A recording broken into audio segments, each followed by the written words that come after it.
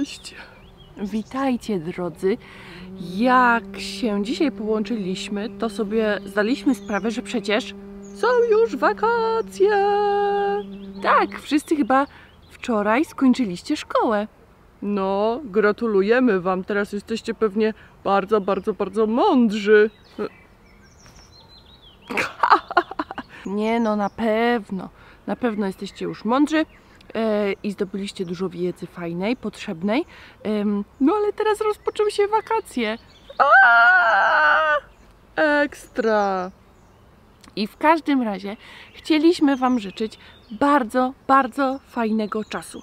Żebyście dużo spędzali czasu na świeżym powietrzu, żebyście mieli fajną pogodę, żebyście się pluskali w błotku, żebyście mogli się popluskać w jeziorze albo w morzu, budować domy z piasku, jeść pyszne owoce, no i spędzić czas trochę też z rodzicami na zabawach. No i jeszcze, żebyście mogli sobie jakieś fajne książki przeczytać. No. No. Eee. Eee. I co tam Wam się jeszcze wymarzy? I my też będziemy robić przerwę wakacyjną. I będziemy w tym czasie szykować dla Was programy. No. Ej. A może zapytamy. A może powiecie dzieciom, co o czym gadacie? E, no bo my się zastanawialiśmy, że przecież tydzień temu pojawiła się taka mała Asia, druga ty, tak? No tak, byłam ja też na nagraniu, taka druga, no.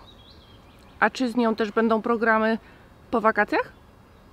Myślę, że możemy tak zrobić. To jest bardzo prawdopodobne. Ekstra! Super. No dobrze, to w takim razie kończąc, przed wakacjami.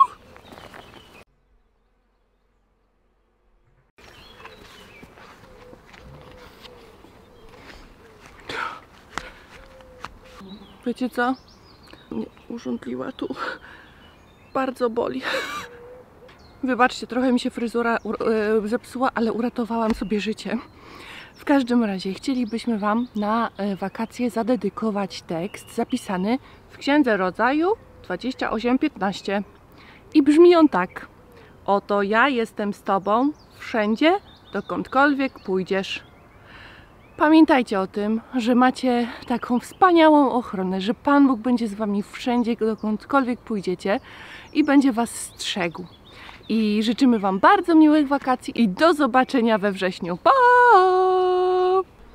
Pamiętajcie, że tak jak Pan Bóg troszczy się o te małe pszczółki, o te piękne kwiaty, tak samo troszczy się o Was, bo Was bardzo, bardzo kocha.